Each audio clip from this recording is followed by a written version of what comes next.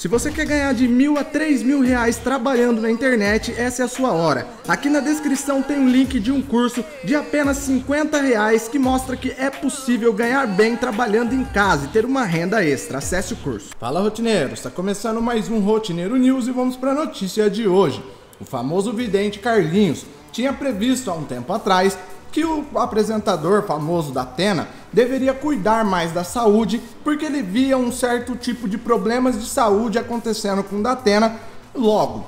Essa previsão foi no ano passado e no dia de ontem o apresentador precisou ser internado às pressas depois de sofrer um mal súbito. Ele está internado passando por vários exames para saber o que realmente está acontecendo. Seria essa a previsão do vidente Carlinhos se concretizando?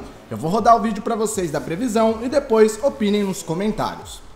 Bom, rotineiros, o vidente Carlinhos, o vidente mais famoso aí do Brasil, né, fez mais uma de suas previsões. Dessa vez ele falou é, do Marcelo Rezende, que foi descoberto um câncer ali. O vidente Carlinhos não fez uma boa previsão sobre ele, é, mas enfim, eu quis trazer aqui para vocês da mesma forma e ele também mandou um recado pro Datena. Bom, rotineiros, vamos assistir esse vídeo e depois vocês palpitem aí nos comentários se vocês acreditam ou não nessas previsões, ou se você acha que ele usa da coincidência, que ele é um charlatão, enfim. Eu vou respeitar todos os comentários. Vamos pro vídeo. E o Marcelo Rezende, a gente acompanhou essa questão da doença dele, tem alguma... Bastante gente perguntando... Marcelo coisa... Rezende, só pra você ter uma ideia, ele ele é um desbravador nordestino. Pensa num homem Oi. Batalhador, direito, um cara que tem que falar, falar na cara, que nem eu. Ele da Atena são caras que eles merecem, meu Deus, os caras fazer um, uma estátua bem grande deles, colocar é, talentosos para televisão, sabe fazer um programa de televisão, mas não se cuidam. Ah, mas eu vou no médico, eu tenho o melhor médico. Não, não adianta você ter o melhor médico e você viver para televisão. O Marcelo Rezende só viveu para televisão até hoje. Esse cara começou cedo, batalhou muito, sofreu muito na vida, tudo que ele tem hoje de muita luta. Não sou ele como o Datena.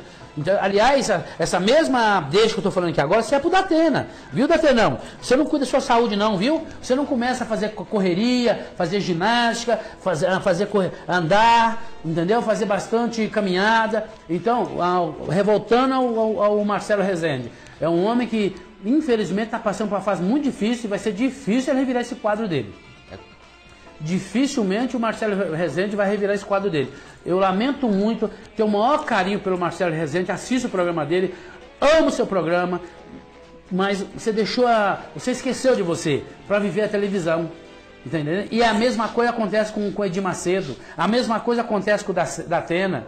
Tá, tá, tá mais ligeiro, claro, da Atena, mas a vida dele chama-se televisão, televisão, televisão, televisão. Tá? Então Deus diz, faz sua parte que eu faço a minha. Se você na terra não faz a sua, só trabalha, trabalha, trabalha, trabalha, trabalha.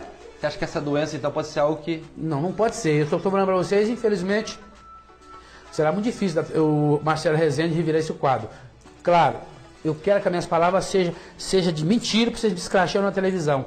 E que Deus dê saúde a ele. É um baita maravilhoso homem que eu admiro muito, Marcelo mas tá difícil a situação.